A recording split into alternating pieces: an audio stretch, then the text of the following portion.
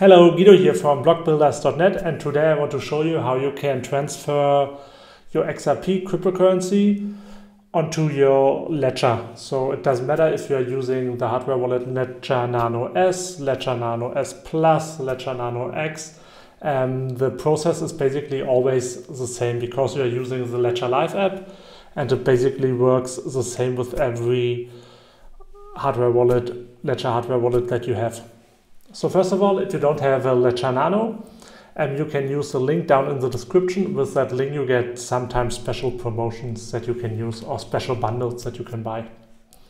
So first of all, the first thing we do is we go into our Ledger Live app and there we click on add account and then you can add your XRP account if you don't have that yet on your Ledger.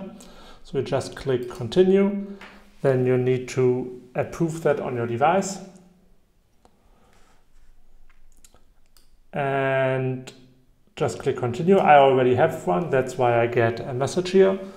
Um, as you can see here, here's mine. Otherwise, you just need to click continue a couple of times and then you have your XRP account on your ledger. Next thing we're to do is we need an address and where we can where we can send our XRP to. So in order to do that, we click on our account and then we click on receive. There we choose XRP.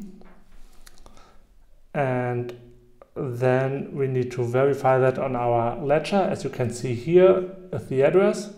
We just copy the address and we will also see the address on our ledger nano here.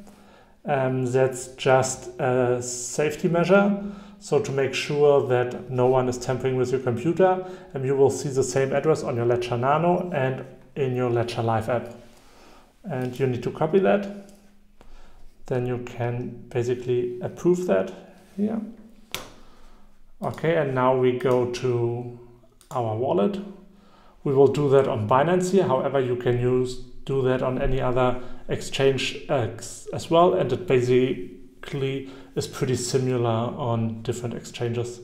So next thing we're going to do is we click withdraw and then we just copy our address here. As you can see, it gives you a message about the Memo. However, um, Ledger Live doesn't use Memo, so we can click confirm here. So the only thing we need to add is our address here, and we don't need to add anything here um, in the Memo field.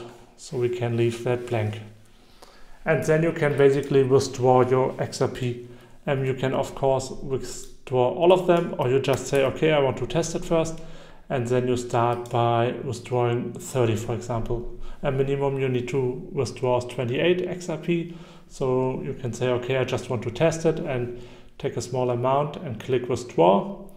And then you Binance would ask you for your two-factor code, like the Google Authenticator code or a text message they will send you in order to um, authorize that withdrawal. And then it's basically all you have to do and it will be done after that. So then you just need to wait until your XRP arrive at your Ledger account. And that really depends on the cryptocurrency exchange. So when it comes to Binance, for example, sometimes they send the XRP very fast within a few minutes.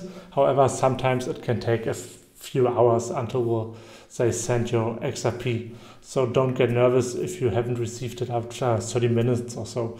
And you just need to wait longer. And it's different with different exchanges. That's basically all. If you have any questions, please feel free to use the comments down below. And if you find that video helpful, please hit the like button and subscribe to my channel. Thanks for watching.